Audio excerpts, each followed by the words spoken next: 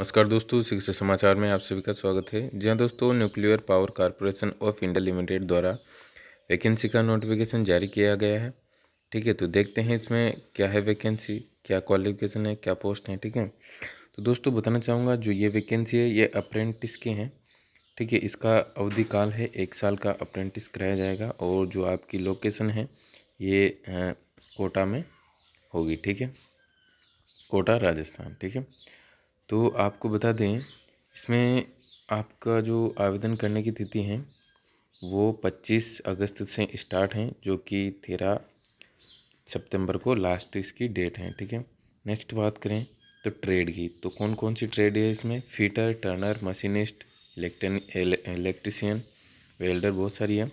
तो इसमें जो, जिनका एक साल का आई है, उनको सतहत्तर सौ रुपये प्रति माह दिया जाएगा, और जिनका दो साल का आईटीआई है उनको आठ हज़ार आठ सौ पचपन रुपये दिए जाएँगे। टोटल अप्रेंटशिप की अवधि रहेगी एक साल की, ठीक है? तो टोटल पद हैं एक सौ सात, ठीक है? फीटर के तीस हैं टर्नर के चार हैं। इसी प्रकार आप इसका स्क्रीन भी ले सकते हो, ठीक है?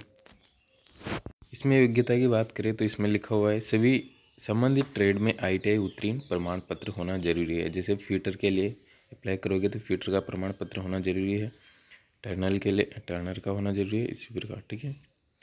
और अपने शारीरिक दक्षता की बात करें तो इसमें हाइट है अपनी एक सौ एक सौ सैंतीस सेंटीमीटर या इससे अधिक होना चाहिए। वज़न, साढ़े पच्चीस किलोग्राम, या इससे अधिक होना चाहिए।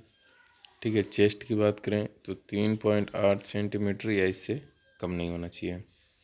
और चयन की प्रक्रिया आपकी रहेगी। अप्रेंटिस का चयन आईटीआई में प्राप्त अंकों पर आधारित होगा, जिसके ज़्यादा नंबर होंगे, उस हिसाब से वो शॉर्ट लिस्ट करेंगे, ठीक है?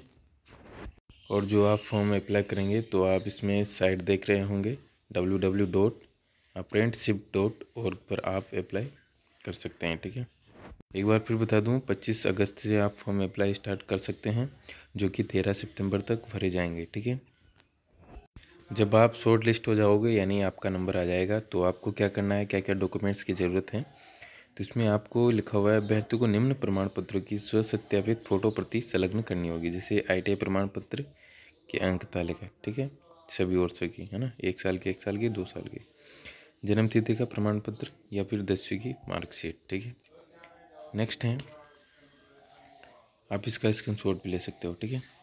धन्यवाद दोस्तों, वीडियो चल गए तो लाइक चैनल भी नए तो सब्सक्राइब ज़रूर करना ताकि आपको प्रत्येक वैकेंसी की न्यूज़ मिलती रहे। धन्यवाद।